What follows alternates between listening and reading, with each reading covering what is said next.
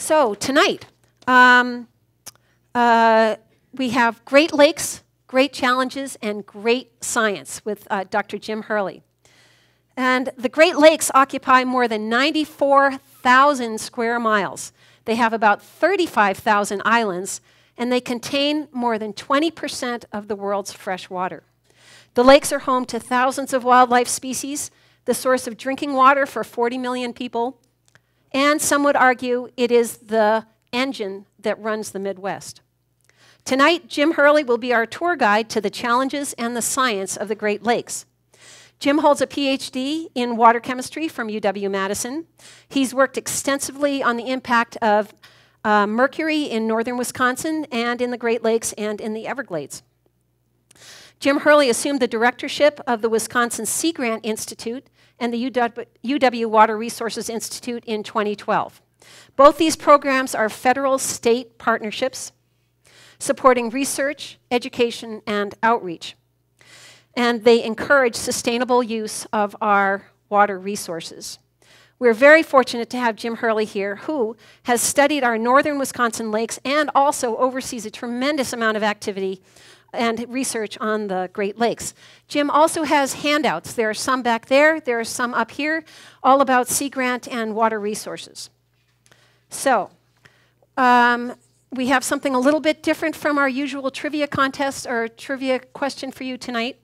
So, um, and I'm going out on a limb here, guys, so be patient with me. With apologies to Arlo Guthrie and his song, Alice's Restaurant, here is a true story about Jim Hurley, who did his master's and PhD here work at Trout Lake Station. Now, Trout Lake Station gives out an annual award called the Propeller Award to the person who does the most creative damage that year at the station. It's a coveted award. I've been working, but I haven't made it yet. Anyway, Jim sealed his fate as one of the most famous awardees ever for his exceptional efforts back in 1981. Jim was asked by our equally famous station operations manager, Walt Haig, to take some garbage to the dump in Boulder Junction. The familiar strains of Alice's restaurant may be going through your heads right now. Now, Walt was quite famous for giving very poor directions.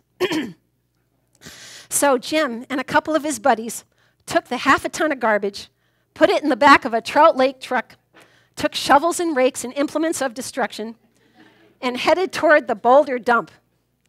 But with Walt's directions, they couldn't find it. So, here, in Jim's own words, is what happened next. With tears in our eyes, we drove off into the sunset looking for another place to put the garbage. We didn't find one till we came to a side road, and off the side of the side road was another 15 foot cliff, and at the bottom of the cliff was another pile of garbage. And we decided that one big pile was better than two little piles, and rather than bring that one up, we decided to throw ours down. That's what we did. Didn't get up until the next morning when we got a phone call from Officer Obie. He said, Kid, we found your name on an envelope at the bottom of a half a ton of garbage and just wanted to know if you had any information about it. And I said, Yes, sir, Officer Obie, cannot tell a lie. I put that envelope under that garbage. so, after speaking to the officer for about 45 minutes on the telephone, they finally arrived at the truth of the matter, and he said that they had to go down and pick up the garbage. So they got back in the Trout Lake truck with shovels and rakes and implements of destruction, went back to pick up the garbage. As far as I know, Jim never had to sit on the Group W bench. But I'm sure he used all 27 8 by 10 glossy color photographs with circles and arrows and a paragraph on the back of each one during his PhD defense.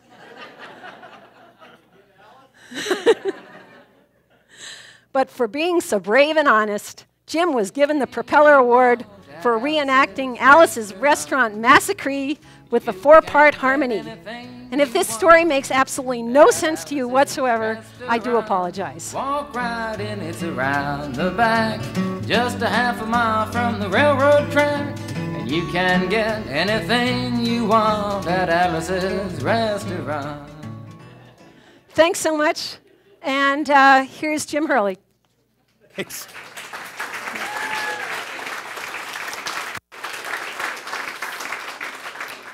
So, which is redder, the red here or the red on my face right now?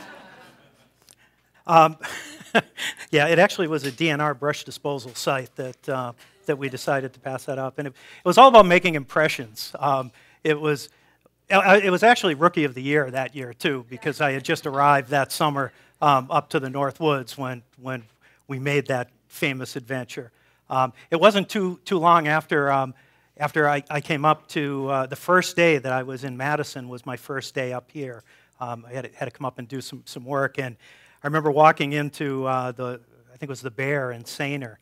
And I asked the woman in my strongest Boston accent, I said, do you have four quarters for a dollar so I can use the tonic machine?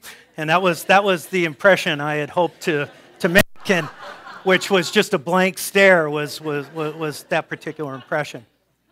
Um, so thank you all for coming tonight. Um, this is great. It won't be a lecture. I know because unlike my lectures, people actually are sitting in the front row today. so this is good. Um, but I, would like to get in, get talk about uh, some of the history that, that I've gone through and some of the uh, some of the important things that this area has meant to me and how it's how it's carried on into what I do now um, in research and in, in in some of the administration that I do. And then and then talk about some of the issues in the Great Lakes, maybe seed a few types of issues that we can have a conversation. So that's what I really want to have is a conversation, so I hope I don't stand here and, and, and lecture much, uh, much too long.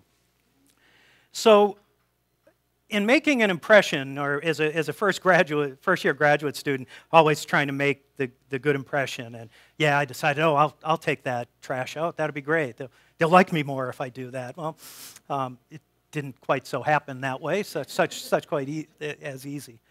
But what I hadn't realized is how much of impression this, uh, the North Woods would make on me, this whole area in the North Woods, the people that were doing research up here, um, and how that was really formative in, in what I did in the rest of my career.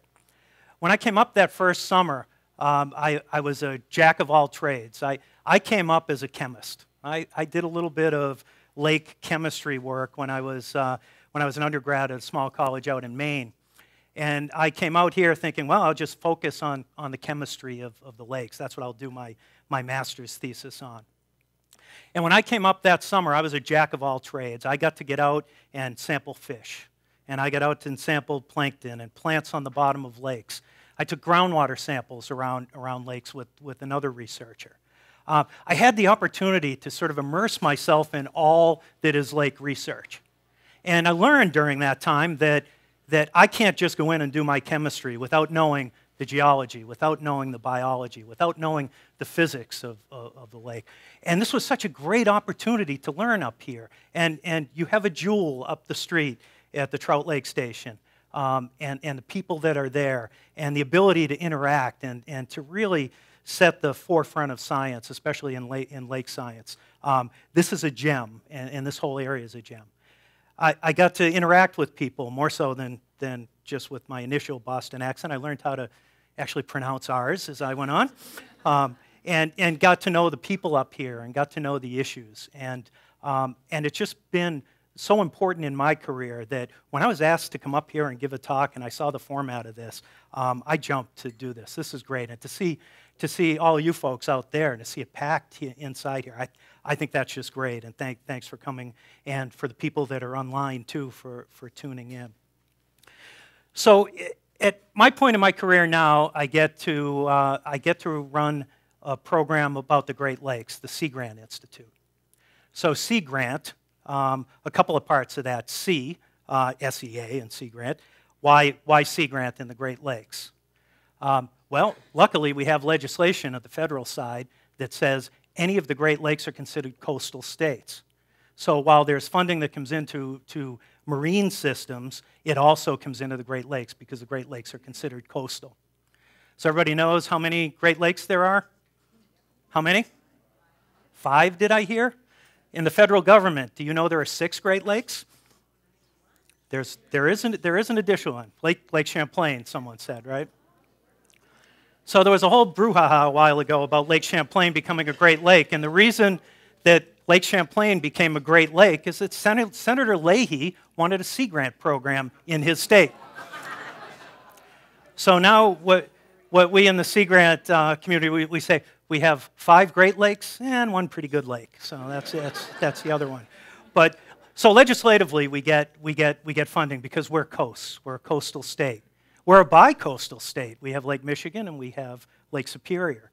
And um, I, I get the honor of, of being able to run a program that funds statewide, statewide universities, um, the, the ability to do research, to do outreach, and to do education on the Great Lakes. So it's, it's, it's really a, a neat program, and, and, and, Susan had mentioned the Wisconsin idea. Um, so the Wisconsin idea that the boundaries of the university extend to the, to the boundaries of the state and beyond, um, that's a powerful message. That's, that's the extension message. That's getting the information out, out to, uh, to the people that need it. So we have outreach specialists around the state. We have offices in, in Superior, in Green Bay, Manitowoc, and in Milwaukee. And we have, these, we have specialists who have different specialties. We've got a coastal engineer up in, up in Superior. We've got a water quality specialist, coastal storms is, is our other specialty in Green Bay. We have a fisheries and aquatic nuisance species um, specialist in Manitowoc. We have aquaculture, we have social science in Milwaukee. We have a, a, a geographic information specialist in, in Madison. They all have these statewide specialties that they use all over the coast um, in Wisconsin. And then they also have their ears to the ground on what are the issues around, uh, around the state. And so when we go out for research proposals, we base those on what the people on the, on the piers and on the coast are telling us are important research areas. So not only do our outreach staff find these ideas, we fund these ideas through research through the, through the universities, and then we get the results out. So it's a complete circle, and it's really a cool program. And it's not something that, uh, that, that a lot of federal programs can do. So it's a federal state partnership. We get money from the feds, and then we match it with state monies, and, that, and that's how it works. So um, I wanted to, to touch on different issues in the Great Lakes and, and, and where we stand. And I sort of use that that time that I first got here in 1981 as my benchmark, and I start to see what happened in the Great Lakes before that, what happened in the Great Lakes since that time. In right around 1981, we were only about 12 years away from the Cuyahoga River catching on fire. You know, that was that particular event did more to help uh, establish the Clean Water Act, the Environmental Protection Agency, NOAA, the Oceanographic and Atmospheric Administration, also, also came in that time. It was a time where, where environmental awareness started to peak, and then federal funding was, was uh, put in to help solve those problems.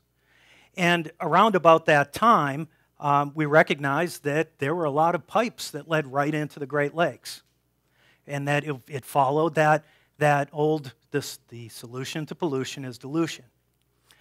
And when you think about the Great Lakes and you think about the fact that Lake Superior um, has a 200 year residence time, that Lake Michigan and Lake Huron about 100 years, Lake Erie is about three, and I think it's about nine years uh, for, for Lake Ontario, that if you put something in those lakes, they're not going to dilute awfully, awfully quickly. Um, that there's a, there's a long residence time in those types of lakes. Um, so, one of the first things we did was we eliminated those point sources we went after those. Uh, we, went after, we went after PCBs. We were, we were just in 81, we we're three years away from the ban on PCBs. I mean, that's, that's how fresh the, um, uh, we, we, had, uh, we, we had been in the PCB issue. We realized it's a problem and, and we reacted fairly quickly. And that's sort of the concept that, that I'll tend to follow because um, we sort of react to different types of events or we react to different types of contaminants um, even today um, in the Great Lakes, and we can, we can talk about some of those. But if you look at, if you look at back in the, back in the, the 70s, we were talking about Love Canal in, in, uh, in Buffalo that was, that, that was flowing out into uh, Lake Ontario. We talked about all the problems around Lake Erie. We had dead zones in Lake Erie. We had we had wastewater treatment plants that were, um, that were pumping nutrients into that lake and, and making them green. And, and, and we solved those problems temporarily um, by, eliminating, by eliminating those pipe sources. We found out about, about, um, about the Fox River and PCBs in the Fox River and got a handle on that, got figured out where the sources were, and started on the remediation project uh, process, um, which still goes on today.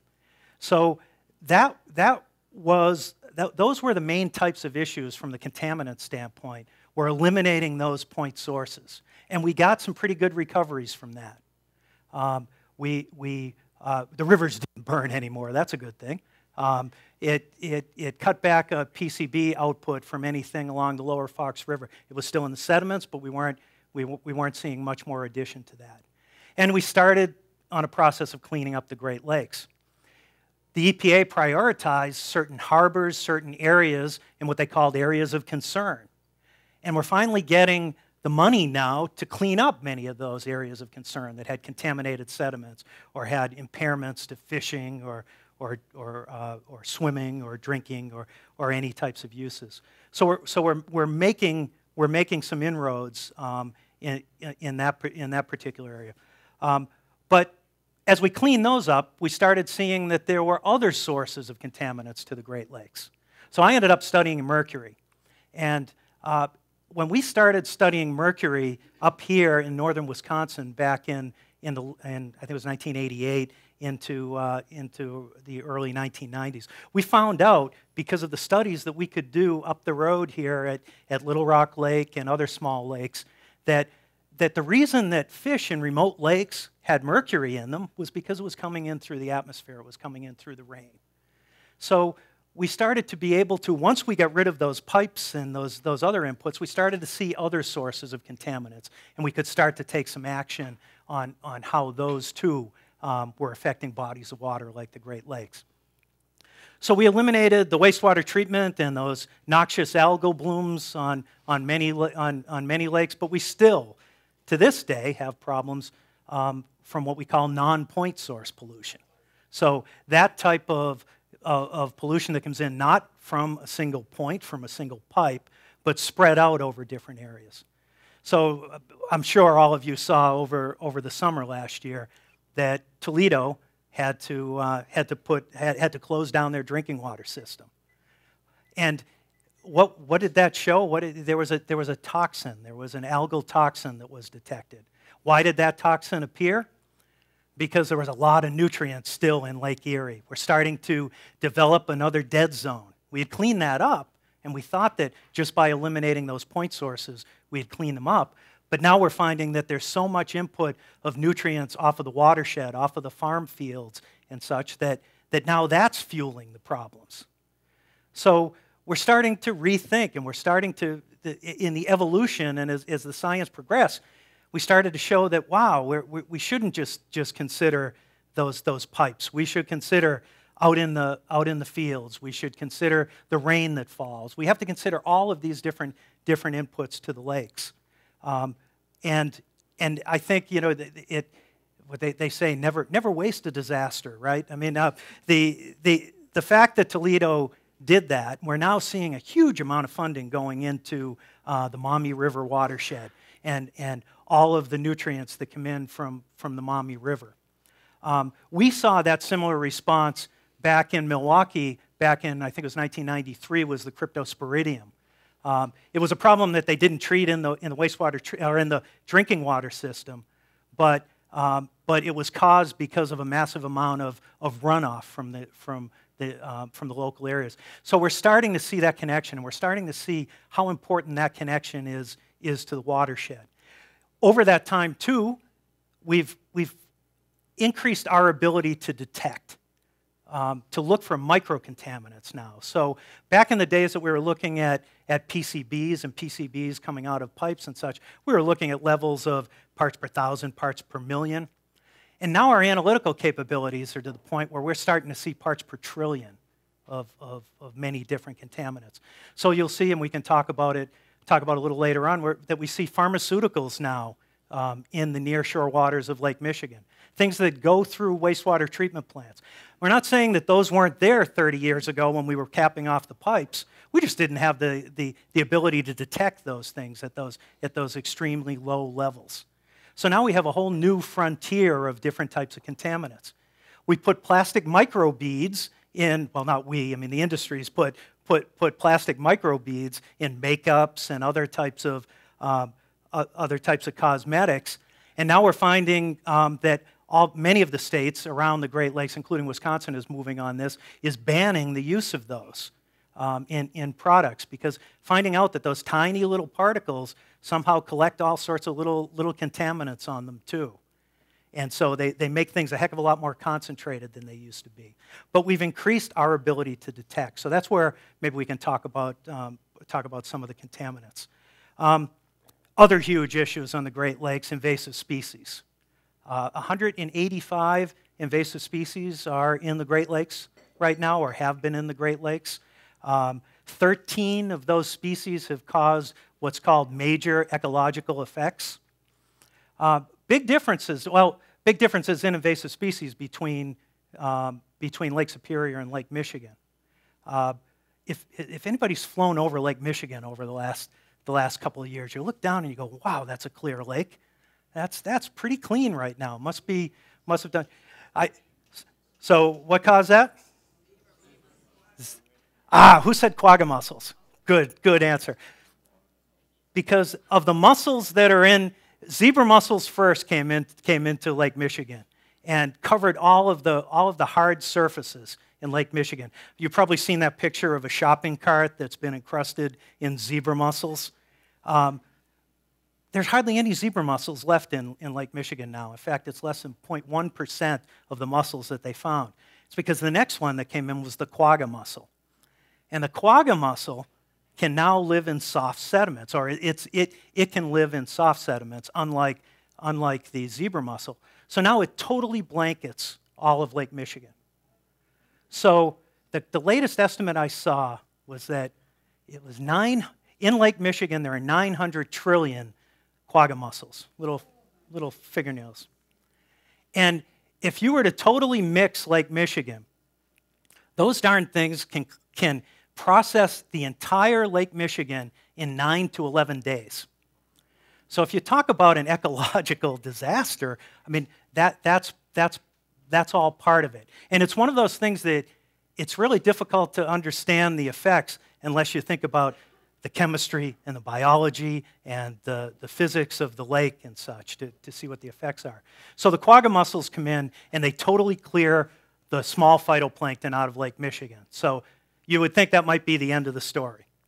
That, that that's, you know, okay, so they're, they've cleaned that up. What, what's the next effect? Well, in doing that, they took that, those nutrient chemicals and then brought them from the upper waters where you used to have the phytoplankton that lived there, the, the, the, tiny plankton. And now the nearshore zones of Lake Michigan are all covered by this noxious algae that happens to break off and, and blow ashore um, around about well, the time that you're renting your cottage on the, on the shore of Lake Michigan, and I can attest to that. And it, it's called Cladophora. It's, a, it's, it's, a, uh, it's, a, it's an algae that was always there, but just that, that those quagga mussels now clear out the plankton, they excrete nutrients. There's enough light up above, it's so clear that now this Cladophora grows. And then it breaks off once it grows. It's nice, long, and stringy. It blows off on shore uh, because of the physics and because of the wave action. And then, then you kick in the microbiology. And the microbiology is that it likes to, micro, microbes like to break down organic matter. Some of them, when they do it, make the smell of rotten eggs. And so there are beachfront, beachfront properties now on, on Lake Michigan that mid to late summer now have the smell of rotten eggs in there. And that's the result of an invasive species. So there are other invasive species that we can talk about. We can talk about Asian carp and what, what, what we're doing to, uh, to protect the lakes, um, the lakes from, from Asian carp. Uh, there were alewives back when. There were sea lampreys. It's just one after the other after the other. But if you want an economic engine that has shipping in the Great Lakes and that takes our products and brings them elsewhere in the world or brings products from other parts of the world via shipping into the Great Lakes, you have to deal with things like that. With the opening of the, of, of the Welland Canal, um, invasive species it just tended to, tended to increase um, exponentially because of the fact that ships bring in ballast water and they dump their ballast water and, and, and, and seed invasive species. So while we're, while we're thinking of ways to protect the front door from things coming from, from, from Europe and, and ballast water from across the continent, the back door was left open a little bit, and that's the fact that we have a major diversion of, the, of, uh, of Chicago from wastewater treatment. So if you go way back to the history of Chicago, it used to, once, once, once they went on a, a public system, and after a few years of dumping it into Lake Michigan out of the, out of the primary wastewater treatment and thinking, geez, people are getting sick, people are getting cholera, people are getting all sorts of disease, let's just ship it the other way. And so that's why the, the, uh, the Chicago Sanitary and Ship Canal was built to take wastewater away from Chicago and move it downstream, move it away. But what that did was it opened a new channel for things to come up into the Great Lakes from the Mississippi Basin.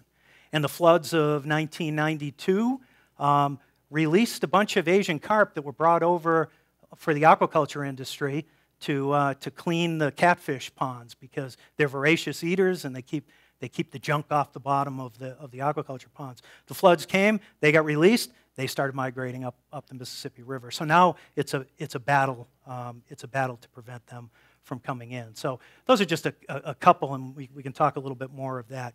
We can talk about climate change. We can talk about the fact that, that, um, that we've seen some of the warmest waters in Lake Superior um, about three years ago. Uh, and the fact that, that the projections for climate change may say that, that we will will obviously see warmer temperatures up here, but we may also see less ice cover on the lakes. How is that going to affect lake levels if we don't have that ice cover at the time of year that evaporation is, is extremely important? The projections also are for bigger storms and, uh, and, and larger, more intense storms. We may have the same amount of precipitation, but it may be coming in bigger packets. It looks like, it looks like that's the trend. So think about those types of storms that we had in, um, in Duluth, the solstice storm a couple of years ago. Uh, that was also at a time when it, when it was fairly warm. But, uh, but everything that came out of the Duluth area that then circu- circulated around the southern part of the lake, uh, including all those nutrients that ran off of, the, off of the watershed. And all of a sudden, we had a beach closing at Meyers Beach in Lake Superior because of blue green algae. I mean, that's, that's, that's a warning sign right there. You know, when, you, when, you, when you're closing beaches on, on the coolest lake of the Great Lakes, the lowest nutrient lake of the, of, of the Great Lakes, um, because you've had this in, in, influx of nutrients and warmer water and such. Um, we can talk about, about the economy of the Great Lakes. I mean, I just mentioned the fact that, that we have to have a balance if we're going to bring these ships in and we're going to, we're going to drive our ports and we're going to do international commerce. We've got to think of ways of protecting against invasive species. Um, we've seen those effects. We've seen the other side of the economic effects of the fact that, that we pretty much um, extirpated the, or lost all of the, the lake trout in Lake Michigan when the alewife came in. So, how do we get around the alewife, the alewife problem? We brought in more predators. So, so, so that's when we brought the Pacific salmon into the, into the lower lake. So, so we're trying to keep ahead of all of, these, all of these different things. And we have a great salmon fishery in Lake Michigan. I don't mean to say that, that, that we shouldn't, but lake trout is what should be in there. Uh, lake trout is the, is the native population, and it used, to, it used to be a heck of a fishery. We don't have any yellow perch really in, in, in, um, in Lake Michigan anymore. And Lake, yellow perch in Lake Michigan were, uh, that was the staple of the Friday night fish fry in Milwaukee and in and, and the cities around Lake Michigan. Um, we had some bad year classes. We had the fact now that there's really nothing left for them to eat because the quagga mussels have pretty much cleared the water column. So, so there, there's not a great way to reestablish that. So what are we going to do? Maybe we can go towards aquaculture. So Sea Grant um, has invested a, a good amount of research in aquaculture and trying to trying to grow things like yellow perch to try to try to replace um, try to replace some of the food fish that, that, that we've had. Um, but it's all of those balances. It's, it's what do you want in an economy? What do you want uh, for, for, uh, for the biology of the area. What do you want the chemistry to look like? Uh, they're all so, they're all so, so closely related. Um, so we've had so many changes in, in the Great Lakes, and it's, it's trying to stay ahead of things. But on the other hand, um, there's a lot of hope for the Great Lakes. I mean, we've, got, we've finally got a good chunk of federal funding to clean up many of these areas of concern. We've actually delisted four of them so far. So, so the way that EPA works is they look at the beneficial uses that may have been impaired because of contaminants or because of excessive algal growth or, or whatever, um, where four of them have been delisted. Four of them are, are I, think we can call success or, or, or a success. And more are probably coming pretty soon. Uh, we've, got, we've got good federal investment. It would be great to, to get that as, uh, as a continual federal source to help, to help clean those things up. So, so there, there, are, there are some hopeful signs. Um, with all of these changes, what we try to, what we try to push in our research program is developing resilience, being able to bounce back from things. It's, well, actually, there's a new term for resilience. It's not bouncing back, it's actually bouncing ahead. So you try to think of what the problems might be and you try to, try to stay one step ahead. So, for instance, this, uh, a city um, along the Great Lakes is thinking about that storm that we had um, in, in Duluth Superior and thinking about how to plan for something like that. Well, maybe their infrastructure, maybe they have to replace their storm drains fairly soon. Well, you start to think of, well, if, if, if the new normal has now shifted, maybe we ought to put in bigger pipes, bigger drainage. Maybe we ought to come up with some area, some ways to keep that water back in the watershed. Maybe we ought to, ought to, ought to have more wetland retention. Those are the types of things that, that I really see as good signs. So the Great Lakes Restoration Initiative is, is exactly that. It's, it's restoring, but it's trying to make things resilient. There's a huge new project in Green Bay.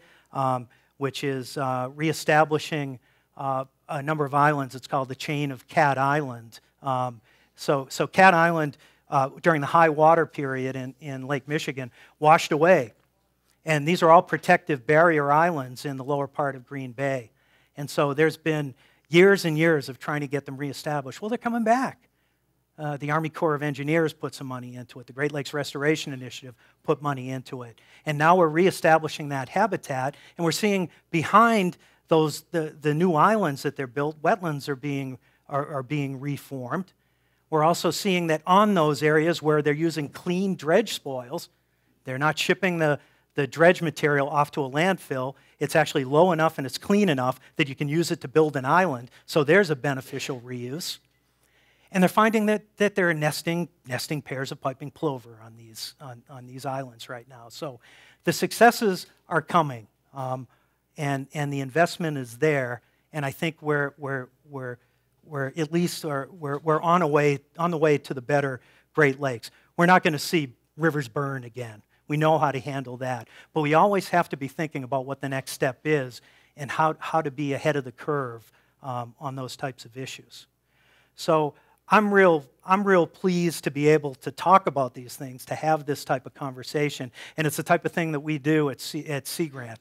We, we, we, we want to know what the issues are, we want to hear what those are, and then we want to try to be able to address them um, through funding and through, through outreach.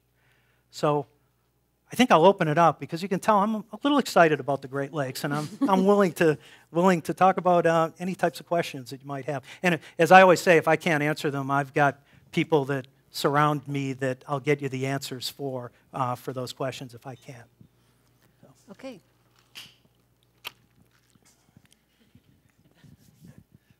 Uh, would would water ever be shipped out of the Great Lakes to the Southwest, and what or what would be the impact? So, did you see that that article today online?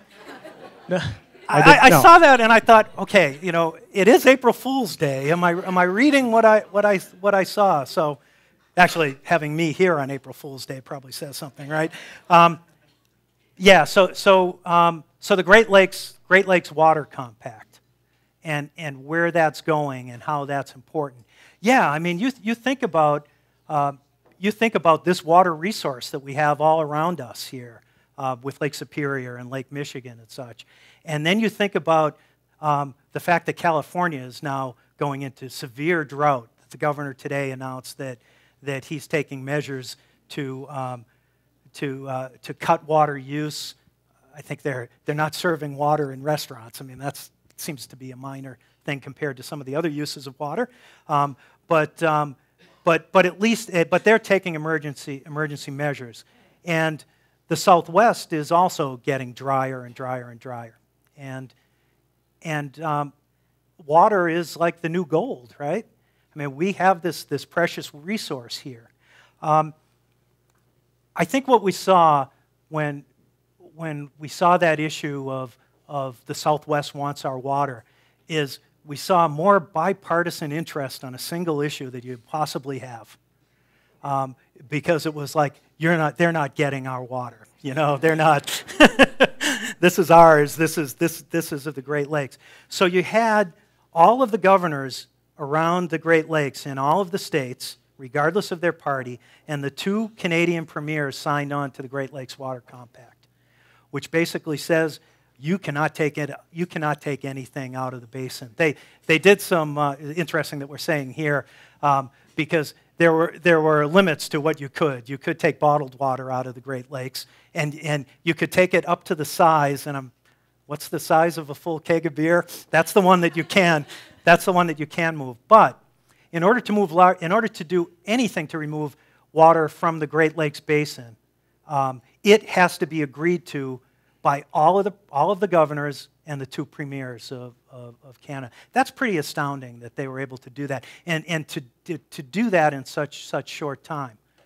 So, what are the, what are the, the issues there? Um, the city of Waukesha is the big test of what's going to happen with the Great Lakes Water Compact. Because Waukesha, at the top of the hill, can see Lake Michigan, but they, they're, not in the, they're not in the Lake Michigan watershed. They're in the Mississippi watershed. They're like here. Um, Minocqua, if it ever developed, um, huge and big city, it couldn't take Lake Michigan water, or it couldn't take water from Lake Superior because we're sitting here in, in, in the Mississippi basin. So Waukesha, on the other hand, uh, it, it, it, it wants to take water from the Great Lakes, and it has some plans to do that. The problem with Waukesha is that it sits, again, it sits in the Mississippi drainage, but it gets its water from, most of its water from groundwater. In fact, it, it all comes from groundwater. And the interesting thing about the, their supply of water in Waukesha is that uh, it's in a confined aquifer, that it doesn't recharge. There's not a lot of water that comes back into it. It's deep, it's blocked off by, by layers that don't allow water to infiltrate from rain into the, into the deep aquifer. And they were losing um, in their main wells, they were dropping about 8 to 10 feet per year. Um, it, it, just amazing. So the, it, someone said, well, you know, it's like, you know, it's like taking a straw and, you know, in, into my glass here and draining it down. And it's more like taking a straw to a sponge, someone said. You know, it's just, there's just not a lot of water. And now they're finding out that the fact that that, that, that water table keeps dropping and dropping and dropping, that they're pulling out waters that have been in contact with, uh, with rocks that have a little bit of elevated radioactivity in it. They have a little bit of chloride in it. They have higher amounts of chloride since they were as deep as they are. They're all marine, you know, former marine waters too. So, so they're, they're, they're, they're, they're, they're a little bit saltier and they're a little bit, uh, they're a little bit more radioactive. And so they want another source of water. So there is a plan right now um, that, that's on the table uh, for them to take water out of, the, out of Lake Michigan through the Milwaukee system, through the Milwaukee drinking water system, and then exporting it into, I think it's the Root River, as wastewater. so they're, they're doing that complete loop of returning the water, but returning it in a different form than they took it. Um, but they have to return the same amount that they take if it, if it ends up going onto this. So, so they may um, they may end up blending it with groundwater. They may use some groundwater and, and, and to make up like from consumptive uses, from watering your lawn or doing all of those types of things. But um, the, the clear fact is, though, that Waukesha developed too quickly. You know, it, it, it, it didn't plan, it didn't look at sustainability, it didn't look at what at, at, at what the water could support. And now, um, now they're in a complicated system of trying to, trying to figure out what to do. And it's all, it's all because of that. There was, a, a there was an old story uh, that, that I think it was um, two guys having a beer on Lake Superior that came up with this idea of, well, maybe we can just load up these tankers of, of Lake Superior water and bring them down to the southwest. That was, that was their plan, which over a few beers, that probably sounds like a pretty good idea. Um, but then, it, then, then um, the, whole, the whole question was, well, if, if we've got an outlet like the, the Chicago Sanitary Ship Canal that flows the other way, why don't, we just, why don't we just keep adding water? Why don't we find other ways to move water out? And uh, boy, I tell you that it, there, there wasn't an issue that, that brought people together as, as much as that particular issue. So. Another question?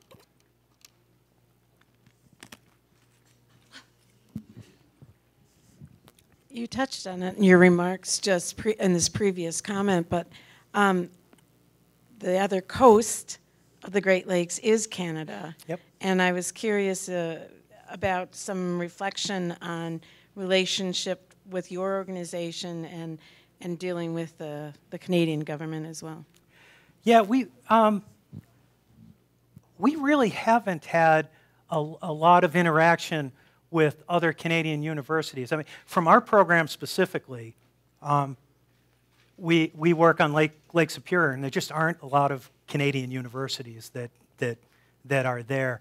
Um, further out in the Great Lakes, I know that there's collaboration be, between other, other programs. Um, but, you know, we, we do have the International Joint Commission. I mean, that, the, the, um, the, there, there are structures in place that the, that the two countries work together. In fact, they have some of the areas of concern are theirs too. So um, I think they've delisted three or four areas of concern. We, we took that together as a mission um, between the two countries. So there, there is a lot, a lot of collaboration. Um, the, the, the, water compact was, was certain, certainly um, um, an important part of that too. So I, I, think there's, there's a lot of cooperation when it's a, when it's a natural resources issue like that. Um, but particularly our organization, uh, probably not. Um, I've done a lot of research with Canadians um, because the mercury issues that, that we have here are similar to the, to the issues that they have there. Um, back in the days of um, when, when prior to the mercury issue, we were here, it was acid rain. The issues were acid rain. And uh, there was a lot of cooperation between the two countries on that, um, mainly because Canada had some pretty big emitters. The, they, they had a smelter um, up off of, uh, up on, on the, uh, off of the shores of Lake Huron. I forget the name of it. Sudbury, the Sudbury smelter. That, uh, that if anybody's driven by that, it's like, it's like a moonscape around that area because of, of the deposition of all the sulfur in that area. So we attack those types of problems together, and we attack the mercury issue um, together. It's, it's interesting, some, really some different politics there now than, than back when I was doing research, research with them. Um, but in general, the International Joint Commission uh, is, is the, uh, the group of, of the two governments that work together to address those issues. So so yes, we're probably um, we're doing we're working together well, I would say, on an issue like this. Jim, you mentioned um, over here. Oh, out in back, Jim, you, Jim. you, mentioned PCBs and and nutrients and um, mercury. Um, of the list of contaminants, what are the ones that really keep you up at night? Um, nanoparticles, I think, are, are some of the um, are some of the contaminants that are a, a class of contaminants that we don't, we don't know what some of the uses are. We go, it's like the microbeads, right? I mean, the microbeads um, were just inert plastic that, that, that industries would add to makeups, cosmetics, aerosols, things like that. Um, but what they found was that they really concentrated organic chemicals on that, on that plastic coating. Um, we're going big into, into nanoparticles now in many, many industrial applications and coatings and such. Um, you just want to make sure that the toxicology studies are out ahead of the uses on there, and I'm not so sure they are. So, so that, uh, that sort of keeps me up, keep worrying about, about, about contaminants on, on that side. New classes of organic, organic chemicals, um, new classes of pesticides and insecticides. Um, that you want to make sure you have the full toxicological testing of all of these things um, to try to try to stay out in front. It's like the um, flame retardants. You know that polybrominated diphenyl ethers, PBDEs, made a heck of a lot of sense when when we applied them to to clothing, um, mainly in in things like children's pajamas and stuff, things that that would prevent prevent uh, prevent fires or prevent from catching on fire and melting. And then finding out that, well, you know, some of the toxicological work on that said they they behave very similar to PCBs. And, uh, and, and so it's, it's a matter of keeping, keeping out in front of our new chemicals that we choose. But, uh, but the different types of metals and the different, different types of nanoparticles, um, I, I, worry a bit about, about those and making sure that, that we're out ahead of the toxicology on it. I have a concern about the potential of factory farms within like five miles of Lake Superior, especially the pig farm that's proposed for Bayfield County. Is there any action being taken for that or any studies being done? I'm, I'm not so sure on that particular, um, particular case. But, but yeah, there, there, there are studies being done. And this is that, that whole complicating factor of, um, of economy, uh, economy and the environment, not economy versus the environment. Um, there's, there's a lot of work going on as to what's the best way to protect any releases of nutrients um, from those. I mean, a release of something that big uh, on, on a confined facility would be similar to the old types of problems we used to have from wastewater treatment plants. So, um, so it's a matter of, of how regulations are going to be developed um, for, for concentrated facilities and, and, and how, far, how far those will go. But at the same time, we can start to come up with, with um, mitigative approaches or, or, or ways to protect that, that, that river, that lake, that watershed. Um, by different types of land use around a, a particular facility. Um, we can think about trying to, trying to come up with other ways to trap nutrients in, in, in its setting. But that's a huge issue. Um, it, it, it's, it, it's a huge issue in, in the Green Bay system, too. Um, the number of confined uh, agricultural facilities there um, in Greene County and Calumet County. And as we're trying to improve water quality in Green Bay, which from an organic chemical standpoint, from a PCB standpoint and such, yeah, things are bouncing back, but, but now Green Bay is continuing to get greener and greener.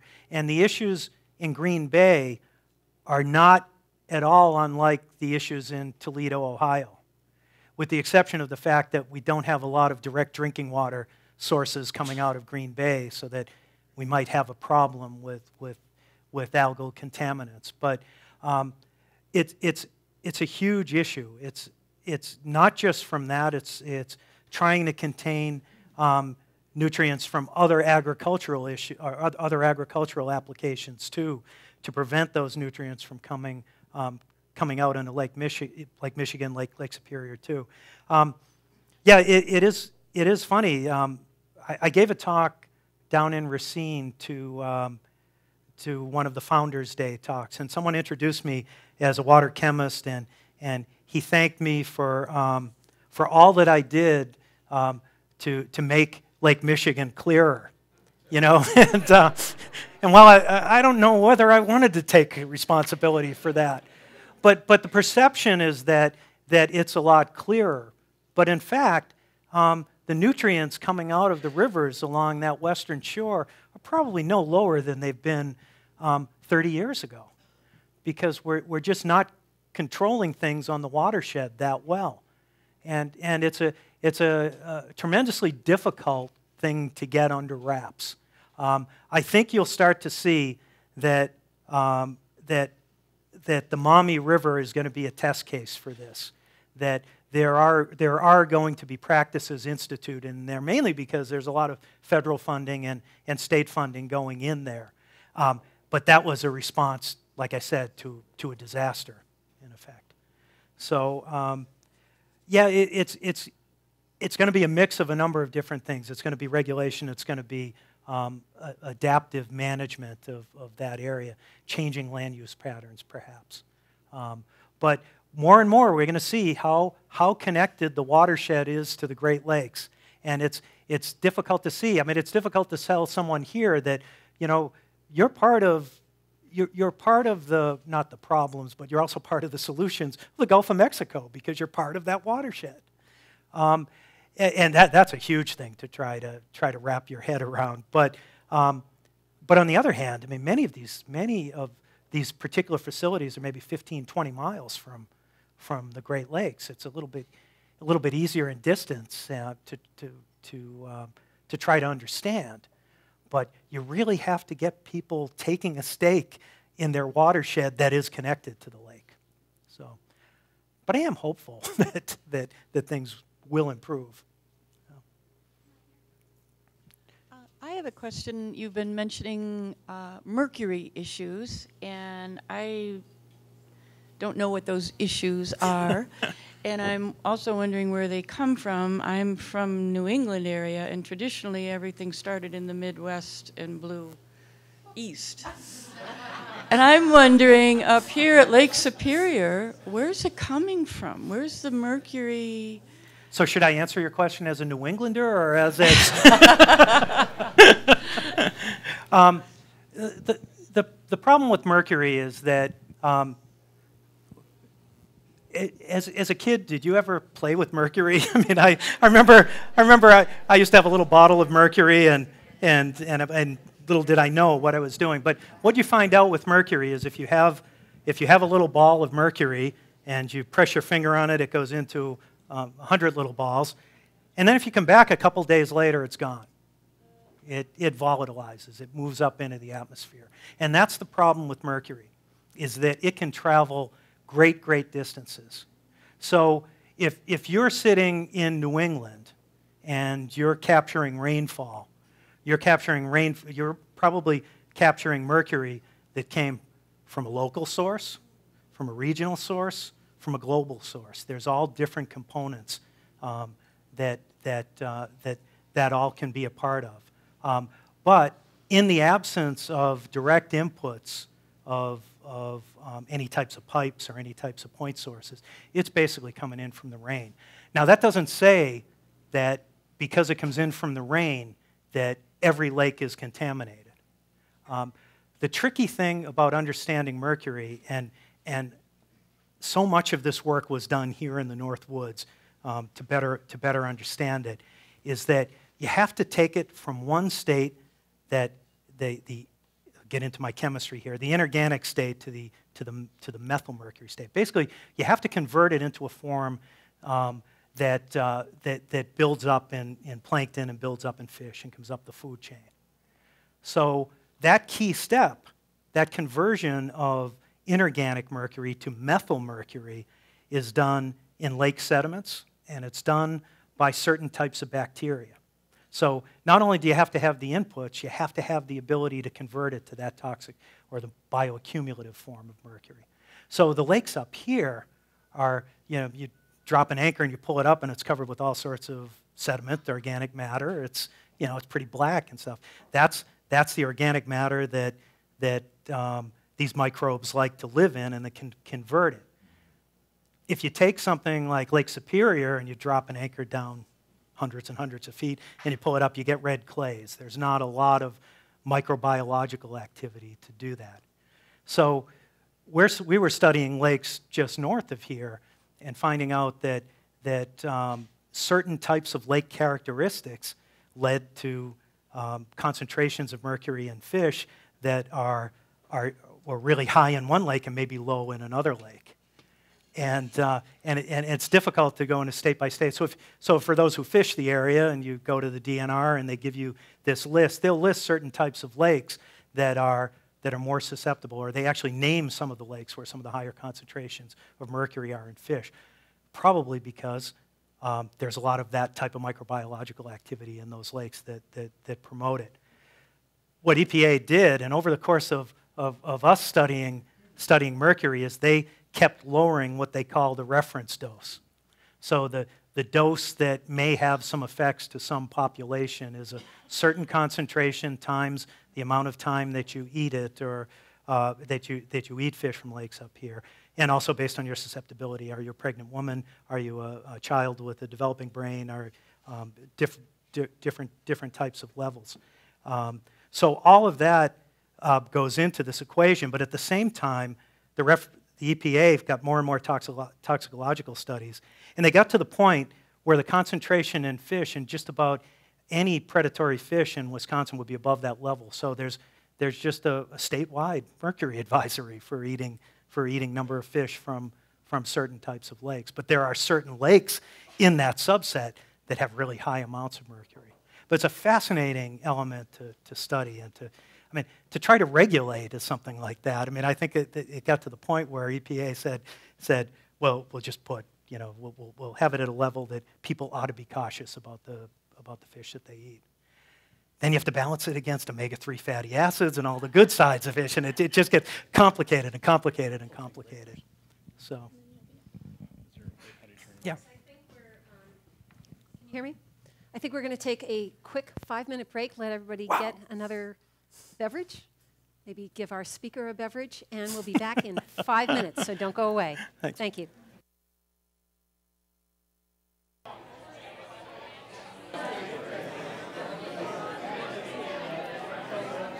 Folks, if you could take your seats again and we can get started again, please. Folks, please take your seats so we can get started again. Folks, we're ready to get going again.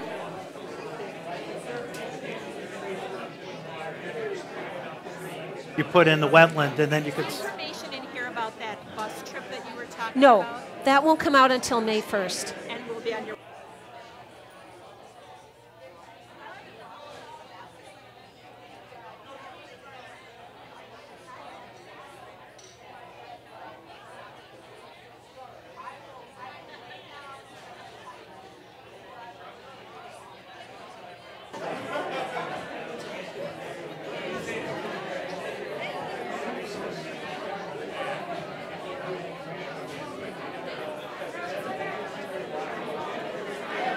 Folks, it's time to get going again. If everybody could take a seat. There are a few more seats up here now, a few more seats down front.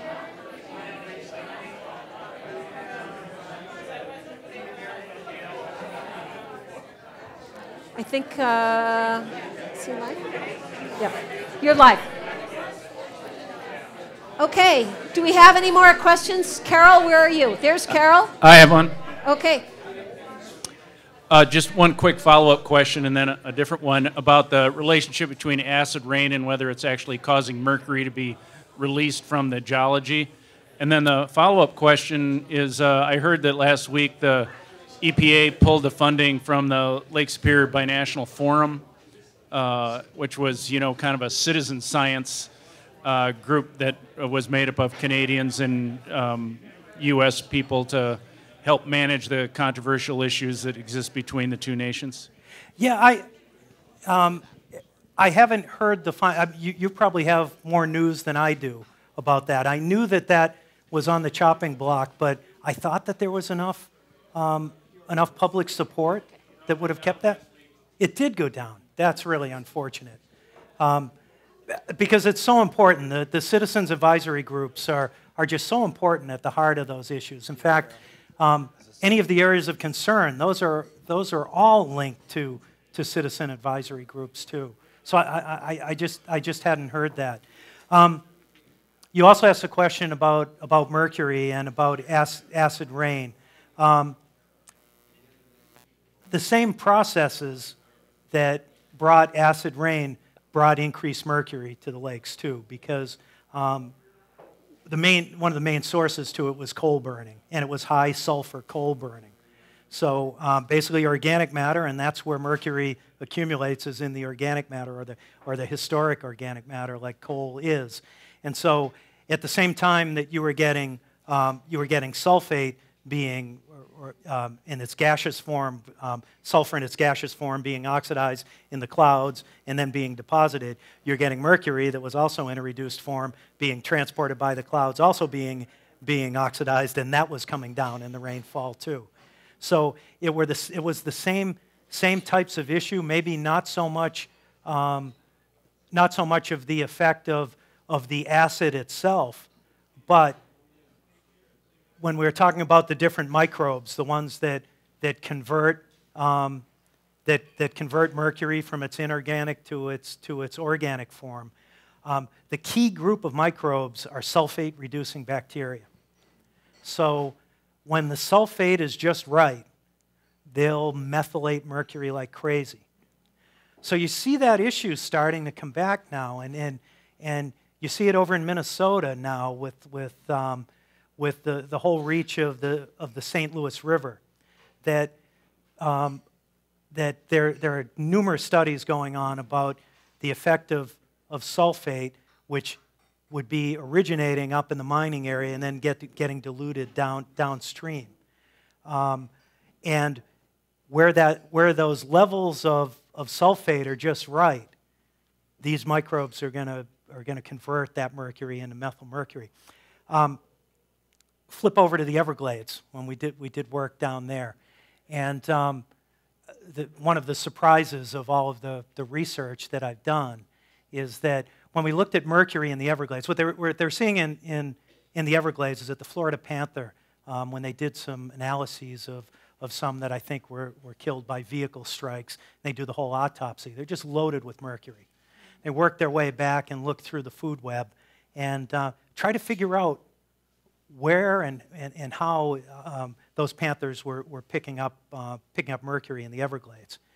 So we are part of a study that looked at, um, looked at, at mercury and looked at all these other, um, like I had said before, you just can't go in as a chemist without looking at all of the biology and all of the other things that, that you need to look at. And we found in the Everglades, um, researchers that were with the U.S. Geological Survey found this, is that um, the sugarcane fields in the northern part of the Everglades, which was, were implicated for um, all the nutrients that ran off and, and, and converted the, the sawgrass into a cattail marsh in the northern part of the Everglades. Um, at the end of each season, they would treat all their fields with sulfur. And then, you know, that would wash down. So there was this huge plume of sulfate that was entering the Everglades. And when you think about the Everglades and, and the Army Corps of Engineers and the, all of the, the water conservation area and all the plumbing and stuff that went on down there, um, what, there, what, what was happening is that that sulfate was coming down into the Everglades, was getting diluted, and, and there, were, there were some key hotspots of mercury right where the sulfate was right. They called it the Goldilocks area, right? Because there was there was, there was not enough, it was, it, was, it was just right. There wasn't too little, there wasn't too much. In the northern part of the, of the Everglades, there was too much, and you'd get this really sulfur, stinky, sm- stinky smelling sediment. Cattails were growing instead of sawgrass. And then at the other end, it was still beautiful sawgrass. But right in the middle was that zone where it was, um, where, where, it, where it was just cranking out methyl mercury. So, with all of this Everglades restoration going on now, um, they're replumbing the Everglades. And what they found that was going to happen, unless they controlled the sulfur on the fields in the northern part, is that that sweet spot is going to move right down into the Everglades National Park. And that will be, that'll be the, the, the Goldilocks spot. So again, you're talking about microbes and chemistry. Now you're talking about the physics of the whole thing. Um, it, it's, it's real, there's, it, really amazing the way all of these different things play in. But the, but the sulfur level sulfur and mercury, the, those two are related so well. And you'll see that issue uh, probably come in uh, even more in the St. Louis River as we start to get more studies there. Oh, sure. Oh. Uh, I, I, can talk loud enough. Okay. I lived in the Twin Cities for 50 years, and we talked about taconite tailings for uh, decades. Finally got it under control. What's the status of the taconite now? Taconite. Tailings in Lake Superior. Is that, is that an issue anymore? I. So the question, this is Mike. Can we? The mic was a question about whether there are taconite. Ta- what, what's the status of taconite tailings?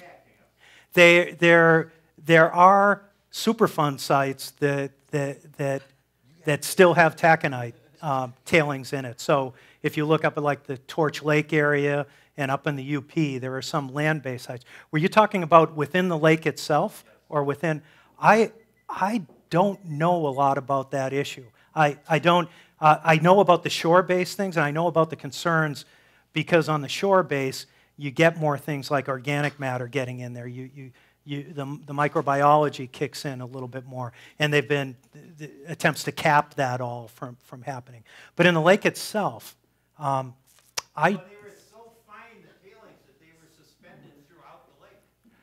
That's what I always understood. Yeah, I, I haven't seen anything that would link it, link it to toxicology. Um, that's, really, that's really an interesting thing that, that that's worth studying. When I talk about mercury now, my next phase of doing mercury research is looking at the isotopes of mercury and what you can do with, with isotopes of mercury and with the right expensive instrument to do it is you can determine where the sources of that mercury. Not all mercury is looks from, from an isotope standpoint, from, a, from an analytical chemist standpoint, that it doesn't all look alike. So we will start to get information about where that mercury originated based on its original geology, based on, based on how it's been, been moving through the food web. It's really a fascinating way to, to approach it, but um, that's, that's, that is a real interesting question, and I just don't know the answer. Pardon? Yeah, it is. In, in effect, it is like DNA. The question was looking at mercury isotopes. It's, it's that source tracking. It's what, um, it's what they've been doing in the Great Lakes for, for beach closing work. Um, you know, you know the, the fact that we've now changed our ability to measure different types of compounds. And, and actually, with money that came into the Great Lakes to, do, um, to monitor our beaches, uh, that was just a, that was to, to learn uh, more about our beaches and to apply the methods that we use to learn more about our beaches um, have given us, um, given us some great information to eliminate sources of pollutants. So when you're talking about DNA, and you're talking about DNA and RNA and, and all these genetic um, tracers that you can use, um, this, is, this is how a lot of the beach monitoring is going on right now, this next step of research. So Bradford Beach in Milwaukee, um, one of the researchers at the University of um, Wisconsin-Milwaukee was doing work um, on, on the beach closing issue, saw that um, saw that there were E. coli bacteria that were, that were in the water, which E. coli of, of itself, a certain number of those, you close a beach because that's, a, that's a, an, indicator, an indicator of fecal contamination. So they look to see who, whose fecal material this is. that's interesting stuff. Do you have another talk about fecal material coming up? This will make much more sense after that. So you can, you can differentiate between duck poop and human poop and, and seagull poop. And what they found out at Bradford Beach, that it was human poop. And, uh, and it, was, it was basically because there was a, a, a, a, leaky, a leaky sewer that was very close to the beach. And they were able to trace that back and then, and then, and then mitigate it. So, um, so pretty cool um, way of, of tracing it, but you know, poop is poop, right? but, but it's, yeah, that, and that's the way you do isotopes too. It's the same, the same way that, that ore, ore from this part of the world is different from ore from another part of the world. So maybe we can start to see differences in mercury coming in from China versus East Coast versus, uh, versus local types of sources, like we were talking about. It is pretty fascinating. Sorry. My question is sort of about taconite also. That's uh, a big issue up here, isn't with, it? Yeah, with the uh, recent an announcement that uh, Gogebic taconite was not interested anymore in the Penokee Hills. Did you and the uh, rest of the Great Lakes scientists have a uh, A, wild celebration party, B, a gentle sigh of relief, or C, no big deal? Um, I, do I have to answer that question? no, it's, it's, it's an interesting case because there you go with the balancing economic versus the environment, right? And, and, and what, what really won out in that case? I'm hoping that it was the environment. I'm hoping it wasn't just the cost of iron. That, uh, that, that there was a recognition that in order, in order to, to do that particular facility, there were a lot of ramifications in the watershed. And, um, and the big issue was, was wetlands. And, and, and, and how are we going to mitigate those? How are we going to, um, if we destroy a wetland, can we really replace a wetland? And, and th- those are the conversations that we need to have, and we need to have it from a scientific standpoint. Um, and uh, and I, I, I was, I, I, was surprised that, that it pulled out because if you, if you look at what happened back in the Crandon mine, um, or the proposed Crandon mine, that, that was um, an issue back in the what, late 70s or so. Then it died down. Then it came back again in the, in the 90s when the prices came up and, and, uh, and there were certain things that they were willing to do to extract that particular ore. But, um, but it was always, there are always environmental issues too. And, there, and, and the issues up here were also cultural issues too. And so they were, they, they were adding so many, so many different issues to that. But the key is to just keep bringing the science, you know, and just, just keep bringing the, un, the, the unbiased science as you can. It's going to do nobody any good to, um, to, to advocate um, as a scientist if the science doesn't show, uh, if, if, if the facts aren't there. So um, I tend to think that the decision was one that was made more and more by the available, the available science than just the price of, of there. No, no, well, no part. I mean, it's, you know, they're on to other issues, right? you know, what are, you, you know, the, the, the, the, the other issues that are also facing, facing the Great Lakes. But um, some of the issues there are things that we'll continue to look at in existing mines now. Some of the things that might have come up there with respect to um, things like wild rice beds and such.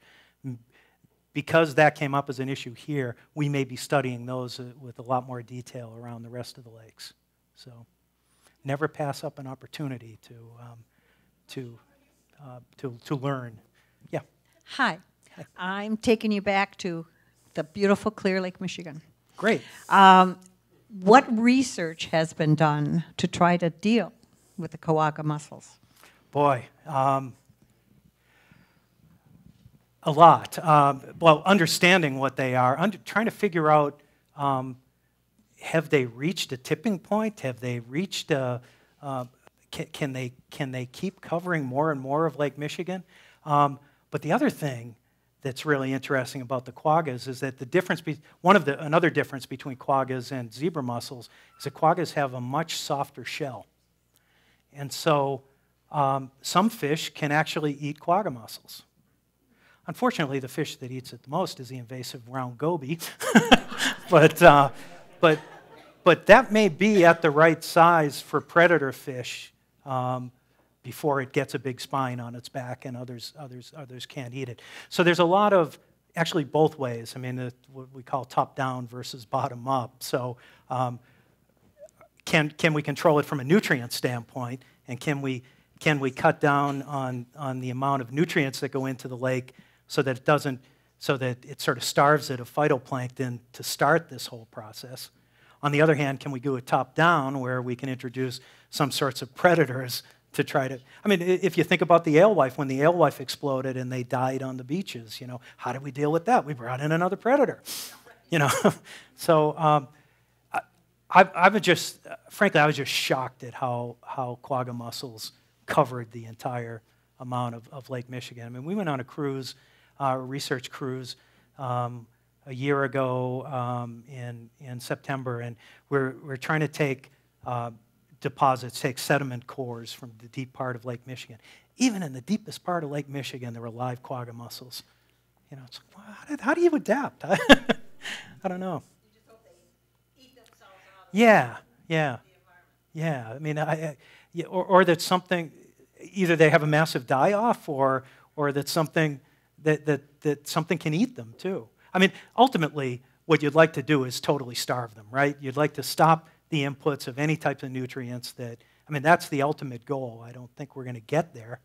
Um, yeah, someone had said, boy, if only the Asian carp could eat them. And, uh, it's like, no, no, no, no, no. Let's. Uh, so. Yep. Hi.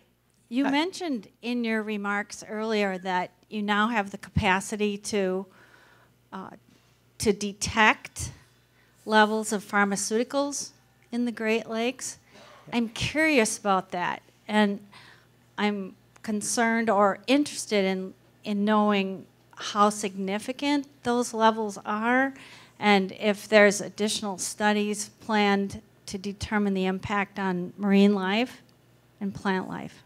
Yes and yes. I mean, there, it, it, you can detect them now, and at some levels that are toxicological concerns. Um, I, I was talking earlier, and I was talking to a, a woman up here at, the, uh, at the break about some work that we did up in Canada.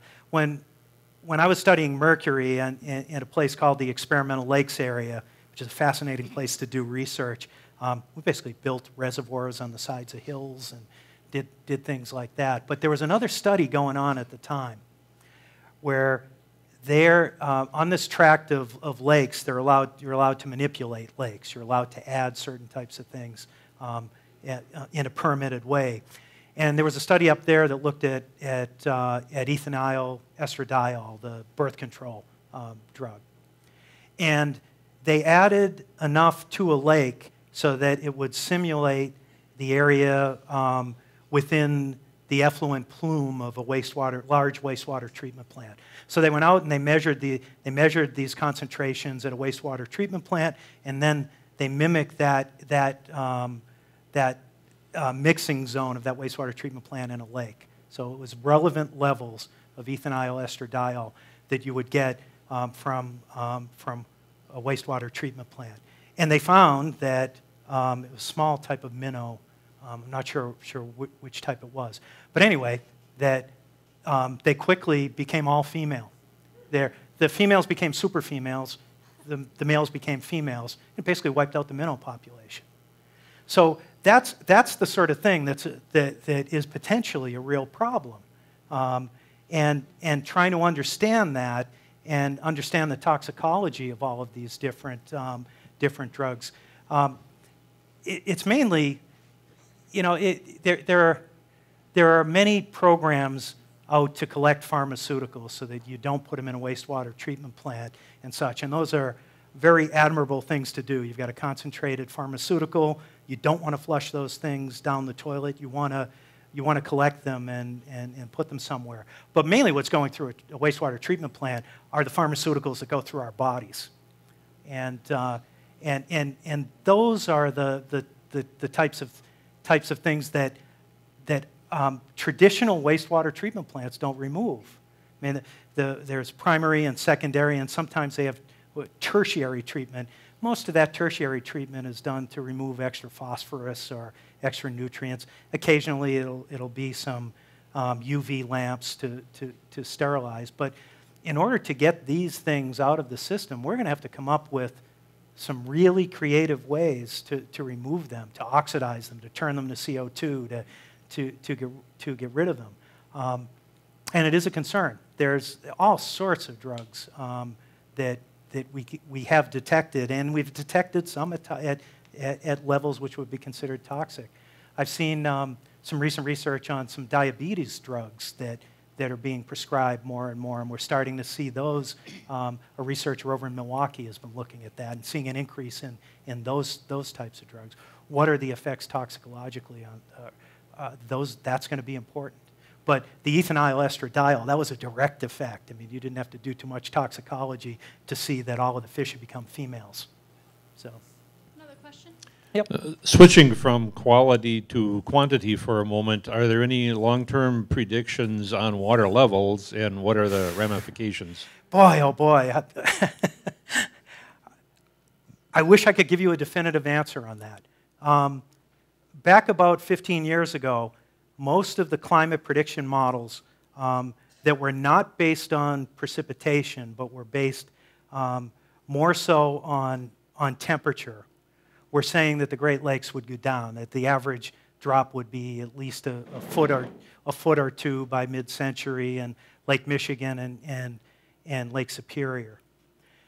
Um, the updated models now that put more precipitation into the, into the models show that maybe they might not, they might not drop that much. Maybe they might stay around the same levels. Um, which, I mean, going out and, and telling people you know the, that you don't know the answer is sometimes difficult, but, but the, models, the models keep evolving, but they're getting better and better. And they're showing for sure that, that, um, that we're going to see more intense storms.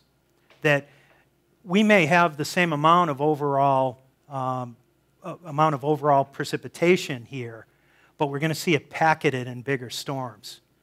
So events like we had on the solstice storm in Duluth and events like we've had in Milwaukee that have, that have totally overwhelmed the water, wastewater treatment, even with the installation of deep, deep tunnels in Milwaukee.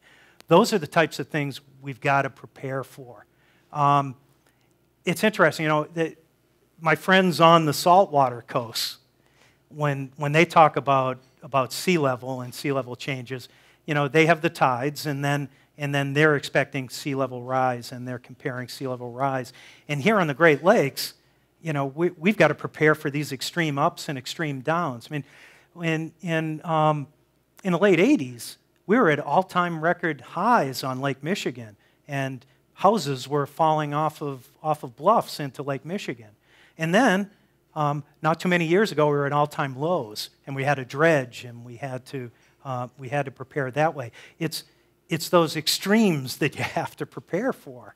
And, uh, and, and, that, that makes it a lot more difficult than just planning for sea, for sea level rise.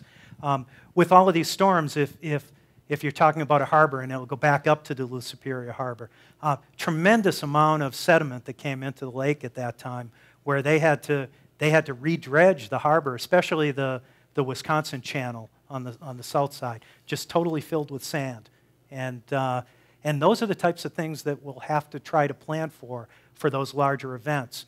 Um, Milwaukee, on the other hand, um, dealing with, the, with events, the, the, the Milwaukee Metropolitan Sewer District is doing some amazing things with, well, number one, Milwaukee used to be on a combined sewer, um, sewer overflow, or combined sewers and, and septic system. So, um, so all of that water would come into the wastewater treatment plant, whether it was storm or not. There, as they, as they prepare um, for the long term, they're separating those systems. But what they're also doing is they're buying up big chunks of land up in the watershed to keep, to keep stormwater from flowing out in these big storms, to retain some of that water in the, in, in the watershed to, to try to blunt the force of these big storms. And uh, it's a neat approach. It's this, what they call this adaptive management. Um, we'll, we'll see more and more of that, that type of approach dealing with nutrients too.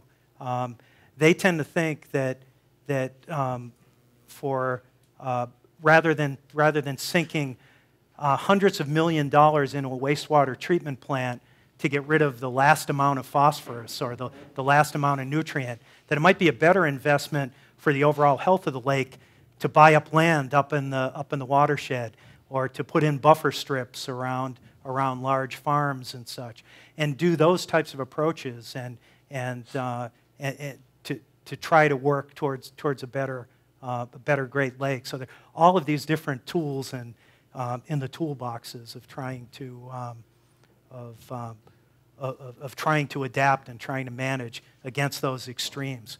But the bottom line is I can't tell you whether it's going to go up or down because um, the, the models are advancing, but the models are starting to give us more and more refinement, at least on the precipitation side.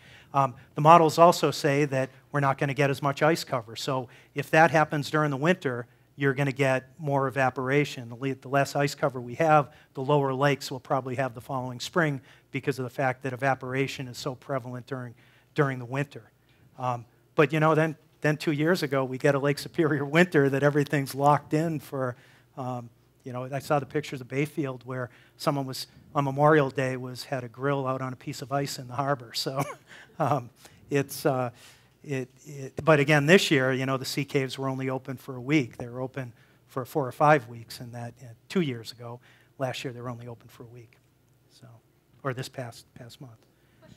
Hey, yep. Carol. Hey, you mentioned earlier. Yeah, could I jump in here quick? um, we've got a two part question from the folks over at the library. Um, the first part is how is ballast water treated um, or monitored for invasive species on all the ships traveling in the Great Lakes? And the second part of that question was what agency is responsible for the monitoring or treatment? Ooh, that sounds like a thesis re- defense question. I'll have to. Um, that, that's, that's a really good question. Um, so, so ballast water treatment is one of the ways that we can try to try to um, fight against uh, against invasive species. So there are different types of regulations um, where where ships coming into the Great Lakes have to remove all of their ballast from from the previous site and then fill them with ballast water from a given site. So they so if they're coming in from um, from across uh, from across the from across um, from Europe and such, and they're coming in the St. Lawrence. They drop out all of their water in the northern part of the St. Lawrence, come in further into the St. Lawrence, and replace it with, with St. Lawrence type of water, um, or even even Great Lakes water. Um, that's a that's a process that's that's starting to get us where we need to go. Um, there's um, boy, the regulatory agency. It, I'm, I'm pretty sure it, I'm pretty sure that EPA does it. The Canadians, the Canadians are also responsible. But that's a, ballast water treatment is, is probably the only way that we'll be able to do what we continue to do um, without, without introducing additional invasive species. And it's got to be really creative. There's some demonstration facilities that are going on now that pump it out. You can treat with chlorine. You can treat with other types of oxidants to try to try to kill. But some of them say that they're 99, 95% effective. Um, that's okay, but that, what about those, other, that, those other percents? But as for the specific agency, um, it, it, could be, it could be part of NOAA. It could be, I, will have to, you stumped me on that one. I'm, pretty sure, I'm pretty sure it's either NOAA, NOAA or EPA. Or the, well, the Coast Guard is also involved, aren't they? Okay, so I'm pretty sure it's either of those three.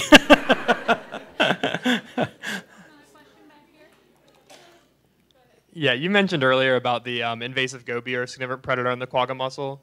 Um, I know sculpin, native sculpin, usually have the same or very similar ecological niche as the goby. Has there been any work on um, native reintroductions or population increases on sculpin to try to control quagga?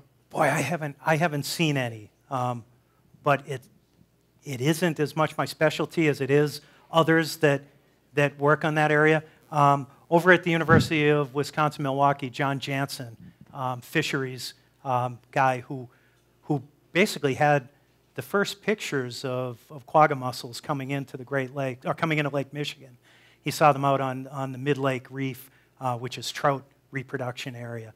He, know, he would know that answer. Um, the folks down, down in Milwaukee that that, that do those fisheries types, types of things work. But um, I haven't seen any, anything that would say that the population has increased. Hello, hello. Hi. Uh, you touched on the exotics that are brought in in the ballast. Even though I love this country, I'm worried about the entire world. Are other countries having problems with exotics from this country ah. coming there? Yeah. I mean, it's, you know, it's a, it's a global highway now. Um, the, the, um, the Chicago Sanitary Ship Canal, the, the way that um, we were fighting against invasives coming in um, from, uh, from the Mississippi River was to put an electric barrier in there. But that barrier was also designed to keep Great Lakes species from going down the, down, down the river that way. So that's an example of, of, of the, types of, um, the types of problems that can occur from going out. Uh, and, and just exporting from the Great Lakes, I mean, the, the, the, the thing now, we, we haven't had an inland lake infested with quagga mussels yet. We have had inland lakes affected by, by zebra mussels, but not by quagga mussels yet. That's due to the, to the hard work of a lot of people standing on boat ramps telling people to wash off their, their boat trailers and such.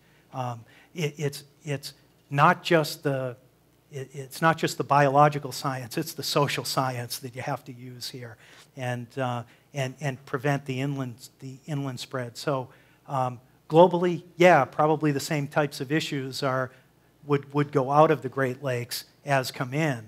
Um, but I think even more important is keeping them in the Great Lakes and keeping them out of our inland lakes.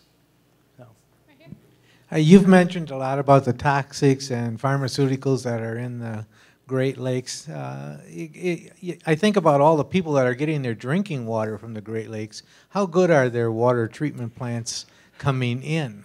The water treatment plants are better at treating it than, the, than, than any of the wastewater treatment plants sending it the other way. But it is a, it is a concern. Um, it, it is a concern that, that um, that you have the proper treatment to remove those types of things. Same, type, um, same types of issues with viruses in water now that, that, uh, that we have to use a little bit more, uh, more better treatment of, of, of drinking water to also destroy viruses and, and, and bacteria also. So um, yeah, it's, it's, better, it's better coming in. And, and the fact that it's, it's a heck of a lot less concentrated coming in than it is going out the other end of the wastewater plant. Um, but it is a concern, but, but um, if you were to do the same types of things that you do in drinking water um, for wastewater, you would probably have to have these huge beds of carbon or, or other types of material at the end of the wastewater treatment plant that would be similar to the types of things that you would get in, in, in the water that comes in. So, um, yeah, that's a, that's a great point. is that it's where, where you're getting your water from and what your sources are. I mean, that was a problem that, uh, that Toledo then had. I mean, what they closed down because they detected that microcystin, that, that blue-green algal toxin at levels around part per trillion. And it passed through their water treatment facility. So, um, so it, is a, it is a huge deal to, to treat our drinking water. It's not, I mean, the perfectly clear Lake Michigan, there, there's, just because you can't see it doesn't mean it's not there. You know, and then that's nanoparticles. You can't see them in a glass of water either, right? But I'll drink. Yep. Um, I can hear a is, voice. this is that, right. Oh, okay. This is that political arena. Over you in may the or may not. Oh, okay. Right. Because um, you've mentioned the need for science. You've mentioned the need for regulations. Um, I'm just trying to gain some perspectives from you on how do you view the political arena in terms of budgets, Walker's budget in terms of how do you, his lack of support in those areas, what are the impacts on that looking ahead into the future? Um, it's really interesting because as, as part of our, um, as, as part of running a federal-state partnership, um, I spend time in Washington, D.C., visiting offices and talking about, talking about our programs. And um, I, when, when I go to D.C., um, there's all sorts of support for these programs um, and bipartisan support. And I can say that for just about every, um, every representative to Congress from, from uh, House and Senate here from, from Wisconsin, that there's really strong support for the Great Lakes Restoration Initiative, for funding these, type, these types of programs. So this was, a, this was a really, to me, it was a really easier year to go to Washington, D.C. There might be sequestration. There might be, there might be some cuts there.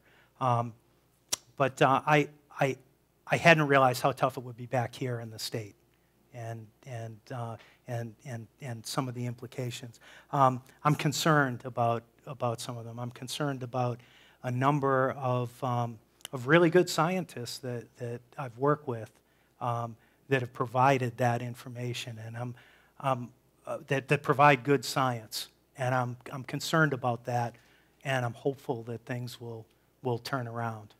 Um, it's, it is difficult. It's difficult. It's difficult right now, and it's difficult to justify um, what you're doing and the importance of doing it. But um, I, I, worry about the flip side of not having the science to, to, back, to back those things. I think we made tremendous progress, especially in the Great Lakes, um, over the last 30 to 40 years. And I, I think that should be evidence to go forward, to use good science to go the next steps. So I, I think I'll end it at that. Thanks. Do we have any more questions? one issue I didn't touch on, I just wanted to say something really quickly because I brought all my, um, my stuff here to pass out. Shipwrecks, tourism in the Great Lakes. Um, there are more preserved shipwrecks in Wisconsin waters than any other state in the Union. And that, yeah, that is, that is pretty interesting stuff. It doesn't mean that we have the worst sea captains in the, in the country. Um, it, it means that they're, that they're, they're really well preserved because they, they, there are some quagga mussels on some of them, but, um, but, but they're, they're really well preserved in the Great Lakes. And you'll see over the next couple of years that, that uh, another thing with bipartisan support of this is that there are plans to establish a shipwreck sanctuary from Port Washington all the way up to Manitowoc to protect all of those, all of those shipwrecks, um, to have multi-use. And it's got total buy-in from, from um, all of the congressional representatives. It's got total buy-in from the sport fishers and the charter fishers and, and all of the different groups because it's sort of a, a mixed use um, and, and protecting the shipwrecks. So there was, a, there was a marine sanctuary that came in to Alpena, Michigan, um, and has been huge for tourism in that area. And there's one that's probably going to be coming to, um, to Wisconsin soon. So I left a card with a link to our shipwreck sites. We've been doing a lot of shipwreck research over time. So sorry, I, I, as I was walking up, I just saw the card. So oh, no your question was all. on shipwrecks, right? uh, no, it wasn't actually. Okay. no, uh, one thing. First of all, the DNR does have ballast inspectors at some of the ports. I don't know if they're all the ports, and I don't know if it's strictly state funding or federal, but we do have ballast inspectors. Okay. The other, my actual question, uh, you seem to emphasize the impact on Lake Michigan of the quagga and zebra mussels. Why aren't the other Great Lakes clear like that? What's what's the difference in Ontario, Erie, Huron, Oh. and Superior? I'm sure there's some kind of effect, but you seem to emphasize that Michigan really Michigan and Huron. a major yeah. impact. Um, I think that, well, well they are. Uh, zebras and quaggas were in Lake Erie for a long time, too. It's just that there's such excessive growth, in the, especially in the Western Basin, that, that they, they couldn't keep up with them either. Um, the, if, if, you look, if you look at Lake Erie, as you go from the Western Basin to the Eastern Basin, the Eastern Basin is, is almost like Lake Superior. It gets that, that clearer as you go down. The Western Basin, around Toledo, Detroit, in that area, um, it, it, there, there's just so much nutrient and so much plant growth that it, that it doesn't. Um, they haven't, quaggas haven't, haven't really been seen in, in numbers in Lake Superior just yet. Um, and I hope they don't. I, I don't think there'll be enough to eat for them anyway. They've, they've, they, with all the, the local nutrient input, they just create this, this little cyclic chamber of, of, uh, of, of, of processing um, stuff so deep in the lake that, that all of the, the planktonic growth, even if there is phytoplankton growth, it's all deep. Then once the lake sets up um, its thermal structure in the summer, a lot of that just cycles below the, the, the, the, the thermocline, below the, the, uh, where the warmer waters end. The, the upper waters are always, are always that clear. So um, I, I think that, that in those other lakes, especially in Lake Erie, that, um, that it, it's just the western end of Lake Erie is just so nutrient laden and also sediment laden that they might have a tough time actually establishing and, and, and being able to clear that type of water. Plus, you're flushing that water through so quickly, too, um, in, in that lake. So, but inter- interesting question. I think more. We should uh, wrap things up. We've kept Jim talking for two hours now. Really? Yes. so. And all I've had so is beer over- or all I've had is water over that Oh, time, too, so. He would have been on the floor. Thanks again to our sponsors, UW Kemp Natural Resources Station in Trout Lake and uh, the Minocqua Public Library and the Lakeland Badger chapter of the Wisconsin Alumni Association. And of course, thanks so much to our hosts here at Minocqua Brewing Company. Uh, remember, our next Science on Tap will be Warren Rose speaking on antibiotic resistance on May 6th.